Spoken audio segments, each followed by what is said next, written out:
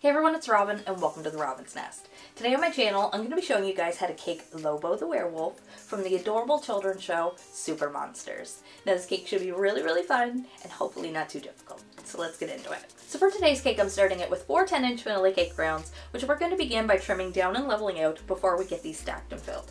So I'm just going to take my cake leveler, which I've already preset, and we're going to trim the tops off these. Then we're going to grab a 12 inch cake board and get these stacked and filled with some delicious vanilla American buttercream.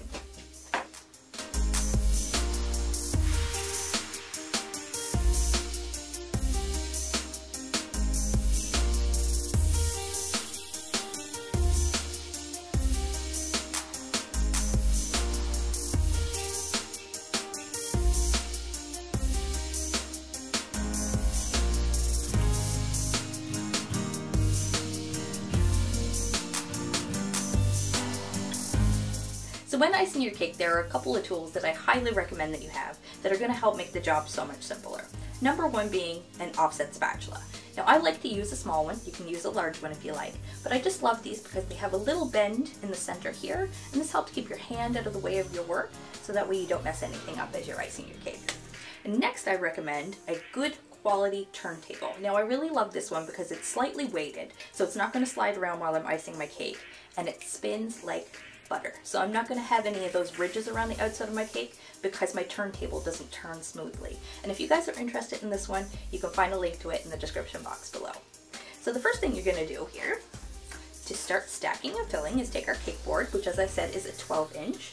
We're going to apply a little bit of icing to our board to act as a glue for our cake layers. And then we're going to add a nice generous layer of icing in between each layer of cake.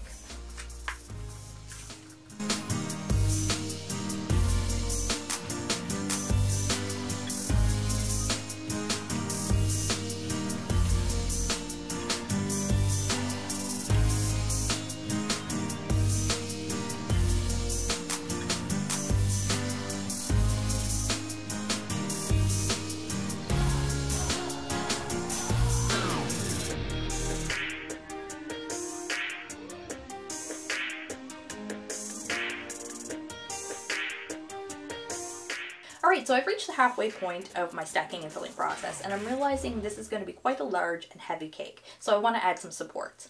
So I'm going to take some small wooden skewers, we're going to measure these off and insert these all into the bottom layer of our cake. Then I'm going to take a 10 inch cake board, lay that in the center, and then we can continue to stack and fill our layers.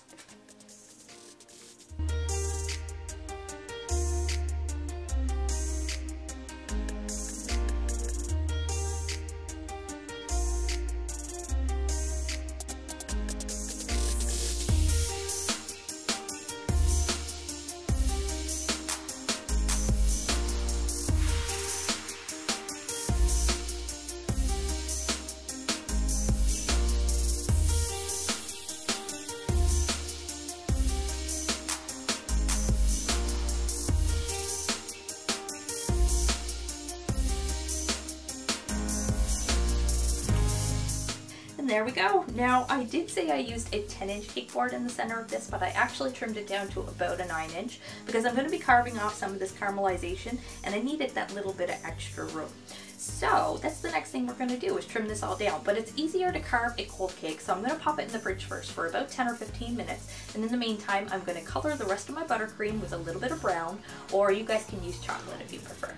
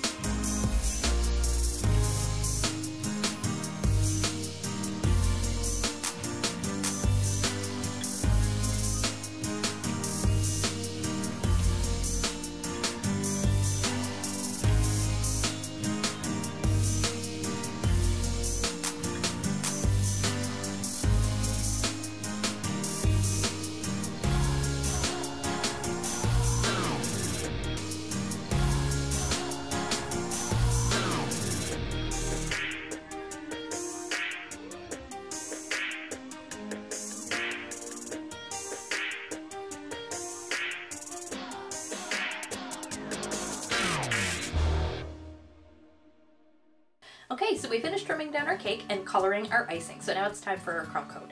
So we're just gonna take our small offset spatula or a large one if you prefer, and we're gonna apply a nice thin layer over our entire cake.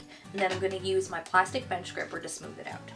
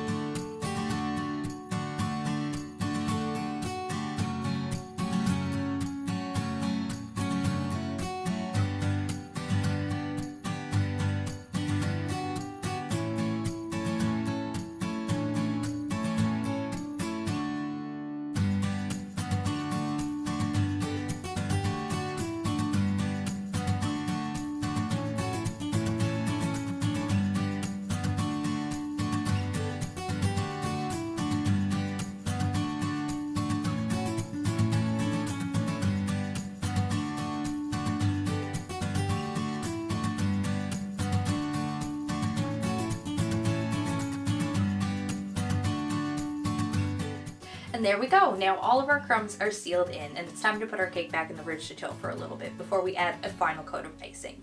And when we come back, we're gonna start working on some decorations. So for our decorations, we're going to be making Lobo's eyebrows, his eyes, his ears, and his adorable little snout. And I think we're going to start with his ears first because these are going to need the most amount of time to dry. So I've drawn up a little template here of his ear, as you can see, and I've also drawn up one of his face. I'll show you guys that right quick too. And we're going to be using these to cut out all of our shapes. So for his ears, I'm going to add a little bit of Tylo powder to my brown, and we're going to get that rolled out fairly thin, as well as a piece of pink. Then we're going to use our template to cut out the shapes we need and then piece them all together.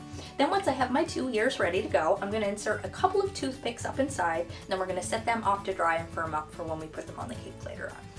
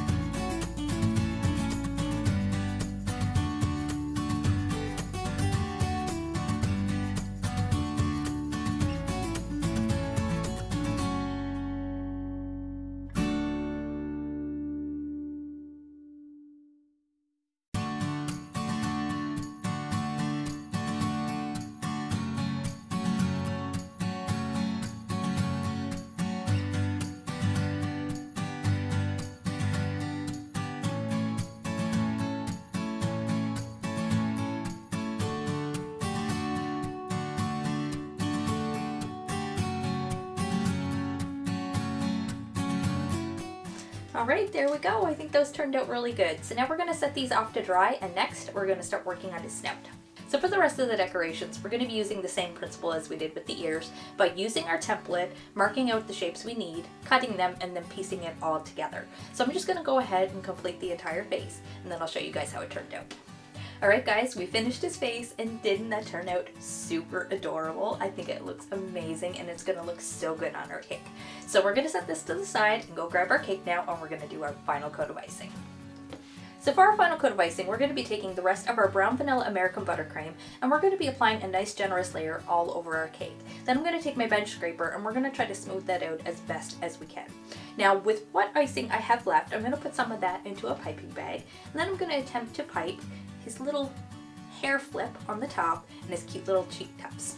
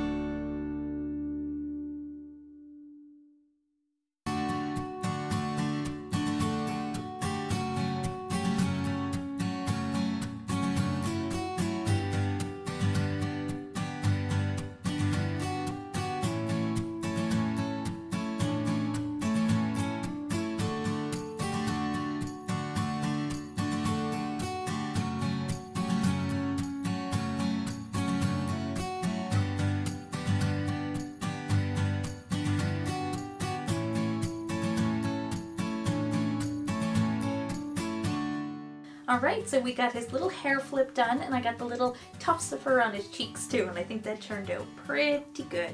Now I could have got my cake a little bit smoother had I had a taller bench scraper but I think I did pretty good for what I have so far. So we're gonna go grab our decorations now, get them into place and then I'll show you guys what he looks like.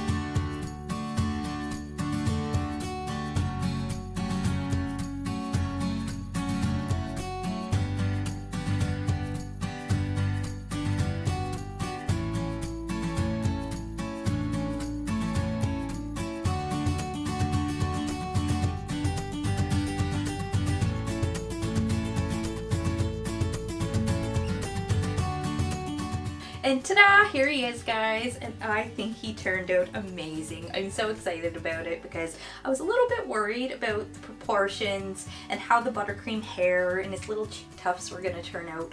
But overall, I really, really like it. And I think it turned out so good. And I really hope you guys all like it too. If you did, you guys know what to do. Leave me a big thumbs up and lots of love in the comment section too. And if you haven't done so already and you enjoyed the video, don't forget to hit that subscribe button and ring the bell so you receive a notification every time I post a new video.